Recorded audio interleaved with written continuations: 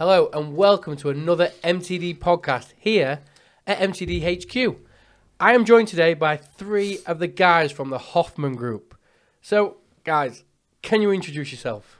Yeah, I'm Simon Ashworth. I'm a senior application engineer. Cover the whole of the UK, but also support these guys going forwards as the team is hopefully getting bigger. Um, and I've been with the business about nine years. I'm Paul Walker. I'm an application engineer for the north of England. I've been with the company over 18 years. I'm Lee Henderson. I'm the, the new boy. I've only been with the company five years. like I'm an AT for the south of England. Everything from Birmingham down. I like how we say five years as the new boy. We've got a bit of experience Yeah, in the yeah. room, haven't we? A few old farts here. Yeah, no, the grey hair, you would think it was longer. So, what is it like working for Hoffmann? No two well, no two days are the same for us. Uh, You know, we go from small, you know, subcontract CNC factories right through to multinational companies. Uh, luckily for us, the products that we have cover such a wide area of production that we we see everyone, and we are involved in podcasts, which is something new to us all, I think. Um, uh, ranging right through to you know getting on the nuts and bolts of getting onto a shop floor for customers. I think it's great that you guys literally, and we'll get onto this a bit later. Your catalog. I think I think it was you, Simon, that said you do everything within a. 30 foot we like to say we, we do everything for within the machine and uh, cnc machines and, and a 30 foot around it So anything you will need in a day-to-day basis, you guys can do. yep Hopefully. Yeah. Now, There's always some oddball request for something yeah i can guarantee that, you someone will someone will that uh, isn't part of the 95,000 items that we have. But yeah, but don't you have that ninety-five thousand and one product? we have another half million on the system that we can get that aren't in the catalogue. So really, there should be a tool for everybody in that catalog. Hopefully. yes Yeah, yeah, yeah. notice none of us are that confident about saying no definitely because Well, we don't want to issue a challenge. So yeah someone's yeah going to find something someone's that we can't yeah, do. going to beat us But obviously, that must make it quite interesting, then that you never know what you're actually turning up to. Yeah, it, it does. It's um, like you say, we can everything from milling, turning, you know, you name it. We never quite know what we're going to turn up to or what the customers' needs are. Uh, but I think across the catalogue, we can look after most people um, quite well, you know, and the products work really well. Uh, so we don't have to worry about is this going to work against because we know it does. Well, talking about products, you guys have obviously been here today because we've done some technical corners that will be coming soon. And I think we should actually go through a few of these products because there's a few of these things I've never actually seen before. Starting with you, Simon, with a quite a long drill with a very interesting start. Yeah, so we have a the master drills, uh, 30 times D. This is uh, has specific ridged guides at the front to to uh, um, help with regrinding and also for alignment. Um, polished flutes. Um, it's reduced, got quite a bit of reduction in the in the back of the diameter for clearance. I'm waiting for it. It has unequal helical flutes. we got there. It's about the fifth time of trying to attempt it. So yeah, it's um, it, a real good tool. Deep hole drilling. Uh, it's like I say, a few. I think we discussed it earlier on. A few people are a bit, little bit scared of it. Um, you know, but I would say that we've got a product range that can solve most problems in deep hole drilling. I think it comes to a point when most machinists listening will go, "Oh, deep hole drilling. I don't want to do it. Let's sub it out." But actually, now with the tooling coming from you guys, it seems like it should just be a breeze, like drilling a normal hole. Pretty much, yeah. I think if you follow the guidelines that we have, and it's it's in the catalogue, and uh, obviously with our knowledge as well, combined with the two, we can go in and uh, following the set procedure that we have. There is a there is some steps you need to complete to be doing the the long series drilling. Um, you will solve the problems you've got, and no problems at all. You know the grades we have cover most materials, um, so it can work really well. And there was something we spoke about earlier, and that is your experience because you guys were actually machinists before as well, so you've actually got the knowledge. Yeah, um, we're all time served machinists. We've all been sales guys as well as applications engineers, so we understand most situations. And between the three of us, if the, one of us hasn't come across a problem on a job or a specific material, it's pretty rare, I would say. But it's great to know you've actually got that back in as well. That if I'm calling somebody out because I have a problem, it's nice to know that I'm not just ringing Bill in his shed who's going to say, oh, you just need this or you just need that. Because, Paul, we spoke about this earlier where mm. you guys sometimes actually use different tools for different materials that aren't actually made for it. Absolutely. We, we, we you know, we sometimes put our, our necks on the block, if you like. We get awkward applications for materials that aren't that well known to us. So you know, we, we don't shy away from these problems. We want to solve them for our customers. We want to make sure that they um, they have the confidence going forward in Hoffmann that we can apply our expertise, if you like, and knowledge that we've got on these new materials to us. We've got uh, also we've got the backing of Germany and worldwide. You know, we've got application engineers across all of the Hoffmann sites throughout the world. So we share our knowledge base if you like. So we've got a huge wealth of, of knowledge that we can draw from, draw from. So you have you've actually brought some reamers with you, which we'll talk about a little later because there's something on your website I've never heard before. But you've actually brought some some drills in yourself as well, haven't you? Yes, yes. So we've got. Um, Simon had a, a very big drill in his hand earlier. Mine isn't so big, but it's what you do with it. It counts. uh, so again, we talked about this earlier. So we've got micro drills, master steel micro drills, which uh, we have in various lengths from 0.8 of a millimeter up to three millimeters, and from uh, length ratios going all the way up to 30 times D. And so, if, and what's interesting to me is even at 0.8, there's no pecking. No pecking. So these can save huge amounts of time for our customers and solve problems. You know, they are designed for long chipping materials, awkward applications. You do need the um, all, all of the, the you know you need the requirement of through coolant with decent coolant pressure in a good high quality precise holder to be able to get the um, results that you need from these tools. But they are problem solvers. It just to me it boggles my mind that you can take a 0.8 up to a three mil drill with the swarf that's going to be coming off that while drilling and still not have to peck out the way and the drill just carry on through. It's a good job, and you can't see the swarf, so you know you've got to put your trust in in what we do and what we say. And um, when we bring these products out, they've been thoroughly tested throughout uh, 13 test centres in Germany, and you know so we're finding out in our applications what they can and can't do. We have a varied range of materials in the UK for our industries, you know, so aerospace and oil and gas, for instance, with exotic materials that can be really problematic. And we're testing these and getting fantastic results. And to me, if I was buying buying tools, that's what you want to hear. You want to know that they've been tested over and over and over. They've not just been made and gone, yeah, that'll work. It's nice to hear that they've been tested so much.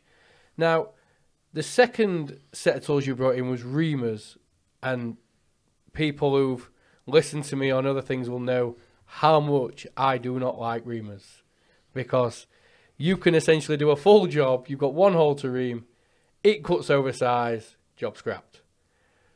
But after listening to what we were talking about earlier, I think you changed my mind on it. So, what were some of the reamers you brought with you today? So we brought, um, we have different reamers for through holes, blind holes, we also have color coded system again. So the color coded system enables you to drill down and make sure you've got the right reamer for the right material spec. And uh, they're solid carbide, so tool life is really good on them. Combine that with a good drill, a good holder that the holders, the tools being in, so that the tools are running true. You should be able to, we believe we'll be able to produce a hole to the right tolerance that you require. I'm glad you said holder because we actually did a little test earlier with one of your holders where, as people at home will know, if you get a nice H7 tolerance and you drop a pin in, that pin will slowly, slowly fall in. But the fit between your holder and shank was that good. I stuck the tool in, and it just didn't move. And that was after I'd been holding this tool for a good five, six minutes. So I was like thinking, oh no, I'm going to put it in, it's going to fall through. But it didn't. The fit was just unreal. Yeah, I think it's a H6, H6 Yes. tolerance hole, um, which is basically a slide fit in in engineering terms, I suppose. And so you you do have to then sort of slide that into the into the hole. So it tries to ensure that you've got maximum grip around the tool, um, so that it keeps it running true, and also help maintains that the, the the torque that you need to hold that tool when it's under stress in the in the job. And just the la- the last thing I'd, I'd like to talk about before we get to Lee and his massive tap. Um, your website, when you're needing a reamer, you don't just sell set sizes, do you? No, the um, the website you can there are standard uh, incremental sizes uh, available in H7 tolerance, and then you can go on the within that tool and select a size that you need with the tolerance that you need to produce that, and it will the, the software will go away generate a quote for you, um, which we then will will uh, you can order, um, and we will produce it in Germany, and it will be sent over to uh, the UK. Because let's be honest, we've all seen prints with some really weird and wonderful looking tolerances. We've all been there. So it's great. It's great to know if I've got a hole, instead of trying to drill it and then interpolate it, I can actually get, for production purposes, I can actually get a, a reamer made specifically for that job. Yeah. Now, Lee, sorry you've been a bit quiet on the end of the table. It's hard to Um, get a word in. Well, problem with Simon. I mean, but you've actually brought some taps in today, which I find quite interesting because it's essentially one tap does all. Yeah, to our master tap range, we've had it on the market for four or five years now, and it and it is it, it is fairly unique. It's um, it's got a, a multi-purpose grind, so it cuts really well in a variety of materials, which is I think pretty unique. A lot of people have a, a tap which they say will do the materials, but basically it's usually a steel tap that just happens to be okay on stainless or something else. Ours is genuinely will give good results in a wide range of materials, soft and hard, so steels, aluminiums, titaniums, um, brasses, you know, the, the cast irons. It'll cut pretty much across the board. And it's done that well for us. It's been, I think it's probably been one of the best um, new releases that we've had in recent memory.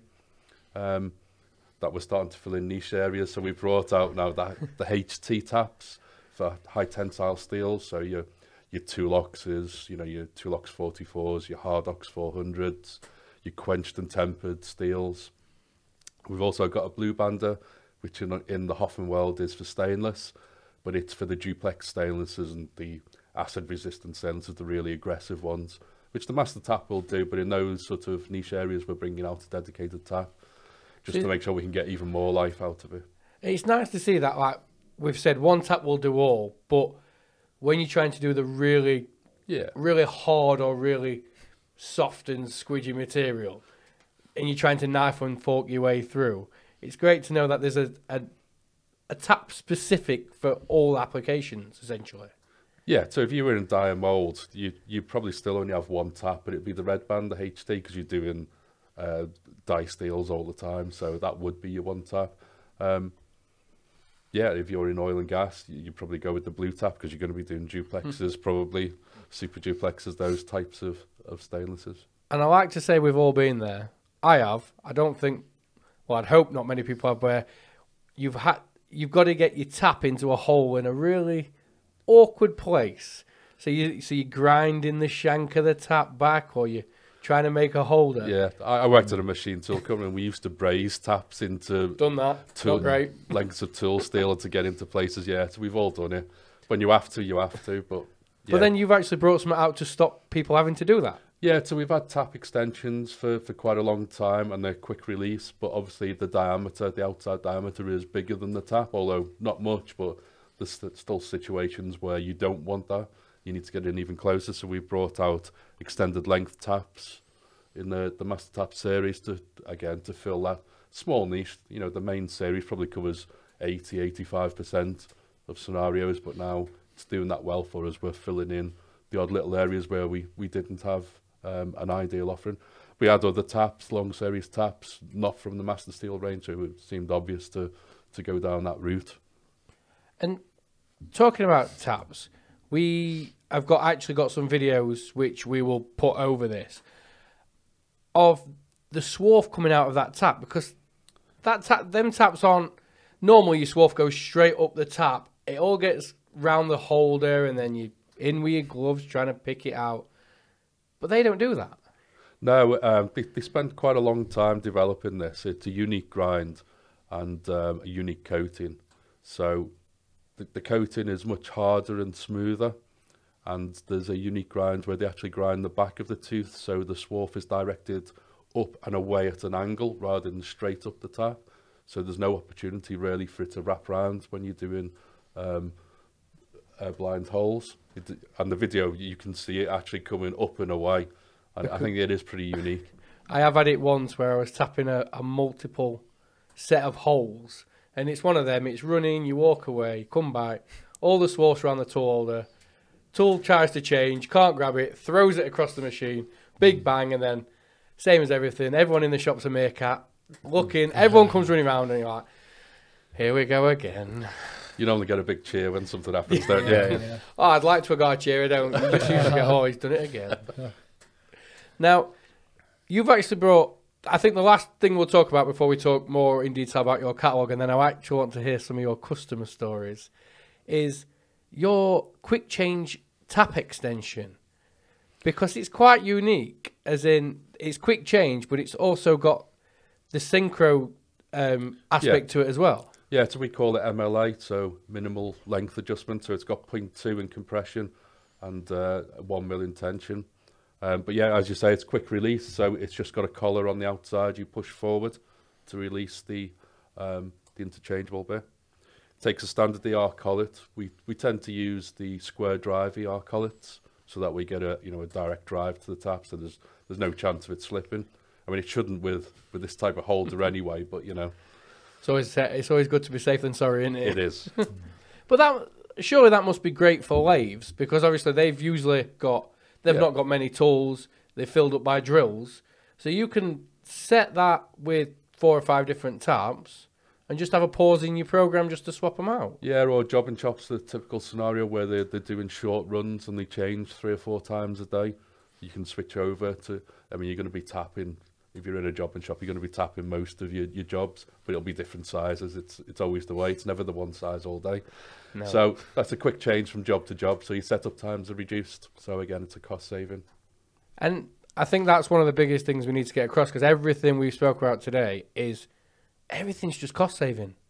It's all about faster run times and saving money. And I think that comes to your catalogue as well because your catalogue has every single bit of information you'll need on every single tool for every single purpose you'll use it for. Yes, it does. Um, it, it, there's a lot of not information in there. There's a lot of information available through the eShop as well, um, which we have, and also the Tool Scout. So the Tool Scout is something that we we uh, as guys do rely on as well because what that does is allows you to put a specific material, and it will tailor the speed and the feed and whether you need coolant or not um, for specific materials. So that's another great bit of kit that we have that we can use. Um, and you can select everything from milling, threading, turning, even gauges now I believe are on there as well. So you can put your tolerances you want. It'll tell you what gauge you need. See, I've seen, I've seen um, speed and feed optimization websites before, but none of them have ever told me to use coolant or not. Yeah, some of the inserts that we have um, are designed not to be used with coolant. So if you're machining your steels, and it'll tell you if you could use maybe use air instead, which gives you would give you better tool life. Um, so it just depends really on the application. Obviously, with the the likes of your stainless and stuff, that, and the heat resistance, you need coolant. But some of the the plainer steels, the softer steels, that you can you can run our inserts, and it gives you better tool life. Now, just before we finish this podcast, I've got to come back to you, Paul, because we've had one of the best cost savings I've ever heard from a single tool. But it's you've actually brought two tools in with two cost savings. So we'll start with one that was eighteen and a half thousand pound cost saving. Sorry, I never got to swap there. So can you talk us about a little bit about that? It was the first application I tried with this drill. So it's the Master Steel micro drill, and it was um, a copper material, so pr- very problematic, long chipping.